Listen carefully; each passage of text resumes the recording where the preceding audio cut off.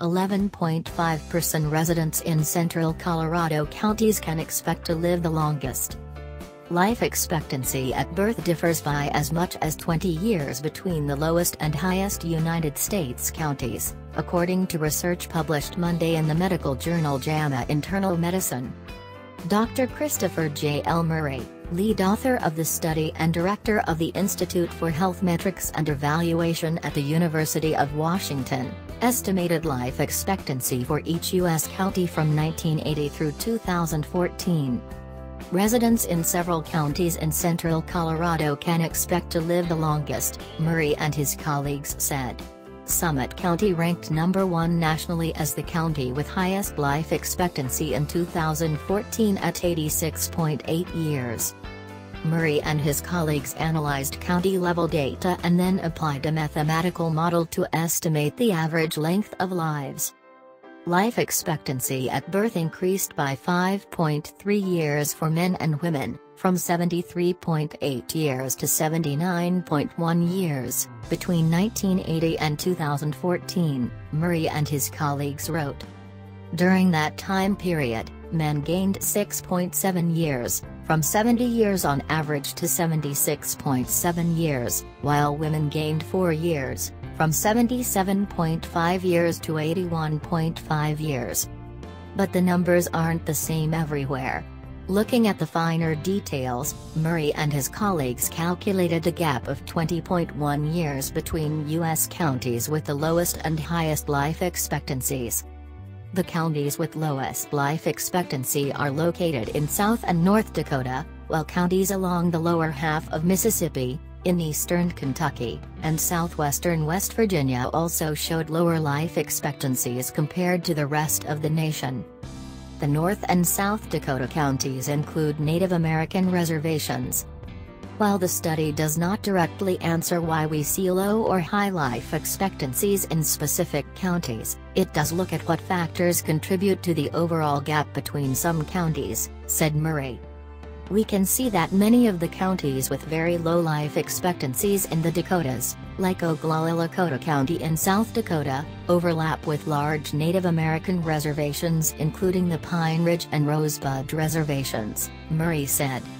Conversely, Summit County is home to several ski resort towns, for both of these geographies, the drastically different life expectancies are likely the result of a combination of risk factors, socioeconomics, and access and quality of health care in those areas, Murray said.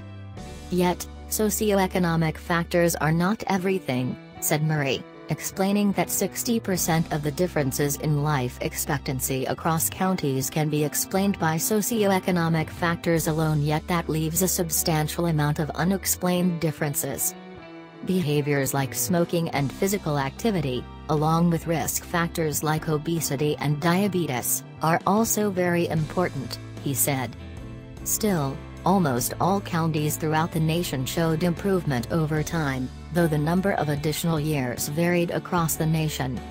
Counties in central Colorado, Alaska and along both coasts experienced larger increases than most other counties. Meanwhile some southern counties in states from Oklahoma to West Virginia experienced either no improvement or very little over time. The most positive note is that, over the study period, all counties show declines in the risk of early death for children under the age of 5 years old, say the authors. And, nearly all counties, about 98%, show declines in the risk of early death for people between the ages of 5 and 25, as well as those between 45 and 85. However, people between the ages of 25 and 45 show an increased risk of death in 11.5% of counties over the study period. The study didn't evaluate what might drive changes in mortality risks for specific age groups, Murray said, but he speculates the same general factors that impact life expectancy overall may drive differences for those ages 25 to 45. What causes differences in life expectancy? The reasons for lifespan inequality have been explored in previous studies, so the current study examined the extent to which just three factors contributed to lower or higher survival. The three factors are socio-economic levels and race, ethnicity, behavioral and metabolic risk, and health care. Risk factors obesity, lack of exercise, smoking, hypertension, and diabetes explained 74% of the variation in longevity, Murray said. Socio-economic factors, a combination of poverty, income, education, unemployment, and race, were independently related to 60% of the inequality, and access to and quality of health care explained 27%. The authors used new methodologies that are more precise than past models, but county level data are all subject to error, the authors note. If recent trends are allowed to continue, the differences in life expectancy across counties will increase, not decrease, the researchers add. For the first time since 1993, U.S. life expectancy in 2015 dropped significantly for the entire population, not just certain groups, the Centers for Disease Control and Prevention reported in late 2016. CDC researchers warned that a one year shift does not mark a trend. Ellen Meara, a professor or health economist at the Dartmouth Institute for Health Policy and Clinical Practice, said many factors impact life expectancy. She was not involved in the new research. Socio-economic factors like education and poverty can shorten lives of individuals, and it may be bad to live in areas with high rates of poverty and less educated adults, Meara said. Similarly, sedentary lifestyles, which are reflected in obesity rates, and smoking are two of the biggest individual risks of poor health and premature death. For people who develop a disease like diabetes or hypertension, also measured in the study at the county level, risk of death is higher. Meara noted the authors used rigorous methods to gain a more comprehensive look at deaths by county and age group. This research echoes what we have been learning from studies in other settings over the past decade, she said. Disparities in mortality have widened over time.